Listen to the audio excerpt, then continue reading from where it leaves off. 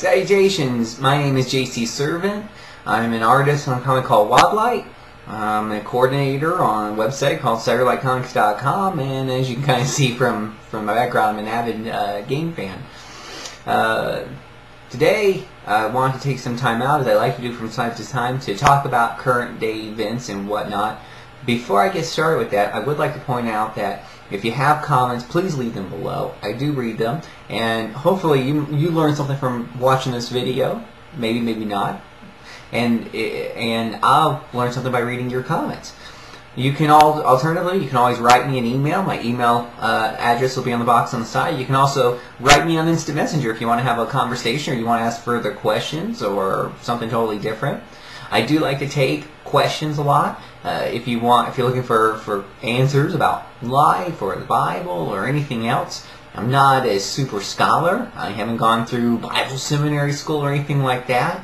Um, I believe I've got training that's actually better than that. It's called just walking with God for a while. Been a Christian now for about two decades. So I love to talk about God. I love to answer questions. I may not have the most uh, politically correct answer or the deepest research answer or whatnot, but uh, I will speak to you from my heart and I will speak to you with the experience that I have, as limited as it is. One of the things I want to talk about today is Michael Jackson.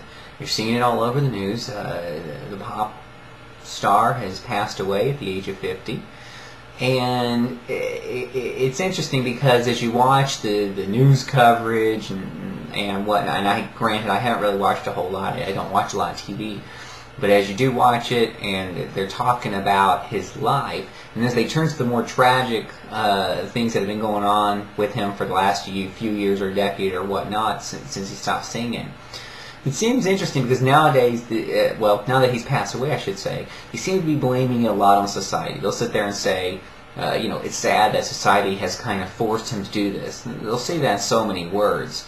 And, and, granted, when someone's dead, it's not really the appropriate, when someone's just passed away, it's really not the appropriate time to, you know, say, well, this guy did all these bad things and it's his fault, uh, and what have you. But it is interesting how just a few months, a year ago or whatever have you, as some of these things were coming to surface that he was doing, uh, it was very clear that they were dogging him, so to speak. And now they're saying it's society's fault. The Bible makes it very clear that we are each responsible for our own actions. No one's going to be able to stand in front of God when he goes over what they've done in their life and be able to say, you know what, God, it was society's fault. No there are countries uh, that have a lot of lot more stress and pressures to do the wrong thing uh, than America does. And uh, for uh, you know some of those third world countries, uh, simply saying you're a Christian or being you're, being a Christian can get you thrown in prison, tortured, or even killed. Uh, Jesus is the prime example of this. Just by going around doing what was right, standing up for people, and what have you, he got himself a, a right to the cross. So, uh, doing the right thing, there's always a cost, there's always a, a, payment to be done. Here in America, where we have the freedom of speech and, and whatever have you, uh, chances are if you stand up for God and you stand up for what's right, you're not going to go to an electric chair for it. You may get ridiculed. You will certainly come under fire by your peers and those around you, some of your friends and your family members. I've had that happen to me before but you're not going to be getting tortured or thrown in jail or whatever have you. There really is no excuse, especially here in America, to sit there and blame stuff on society. Do the right thing, serve God with your whole heart, and don't make excuses for why you're not doing it. With uh, with that being said, um, what you saw in Michael's life, especially after he stopped doing his music and started engaging in activities that were certainly questionable, uh, it's something that you see in a lot of stars' lives uh, as they get to the top of their career and they become rich and famous. Uh, and a lot of times you see this with these CEOs and, and what have you, they become rich and famous, that they lose their sense of morality and they start engaging in questionable practices or very immoral practices uh, and whatnot. The Bible teaches us time and time again, we all know this in our hearts, that that there's a there's a there's there's a need for God in our lives. It's it's a need just like there's a need for any uh, for for food or for water for air. And and our stubbornness and unwillingness to follow God, we try to fill that hole up with the things of this world, whether it's money or, or whatever have you. Michael tried to fill it up a lot of times by just being the best way he could do. You see, uh, that's called perfectionism, and there's a number of people who have that tendency to want everything to be absolutely perfect so they can rise above, or just because they're maniacal about perfection but it usually stems from the fact that they don't feel all that great about themselves, and this is how they, they, they try to fill that particular void in their life. And it's quite sad. And perfectionism usually does a very good job of affecting those around you. If you've ever had any perfectionist relatives and whatnot, it can be pretty scary.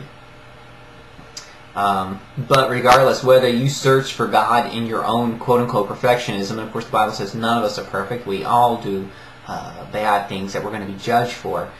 But whether you search for, for, for your fulfillment in life from perfectionism, from being the master of your art like Michael Jackson, just pushing yourself on your talent, or through money, or through fame, the end result is you're going to be mighty, mighty empty. And that's why so many stars get divorced. That's why so many stars have so many problems with their lives. CEOs are, are you know, not happy with making millions, so they start stealing more money from their companies and end up in jail uh, when they get caught.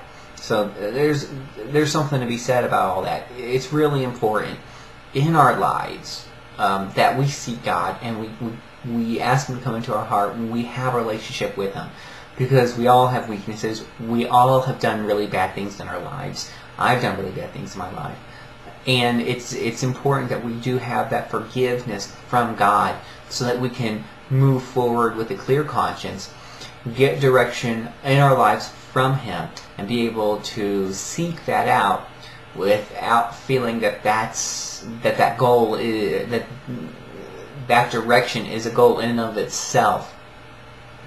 That that that that we're all the trying trying to seek our life fulfillment from. It's a little convoluted but uh, and I apologize. Anywho so I hope that kind of gives my my idea on Michael Jackson I really did like him as a singer especially back in the 80s I had a whole bunch of records and whatnot um, but I, I hope that if we learn anything from, from Michael's life, is that there that perfection in one's calling in life or talent or whatnot, unfortunately, doesn't bring us the fulfillment that we have in our hearts. It doesn't fill that need in our hearts. Only a relationship with God will do that. And if you have any questions or anything, leave some comments below, write me an email, or look me up on MSN Messenger and I will be taking if uh, uh, I will be taking some of those questions and replying back to them here on YouTube. So if you got some hard-hitting questions or whatever, send them on in. Got probably a good chance right now that your question will be pulled and I'll answer it uh, here on YouTube. Thank you very much and God bless.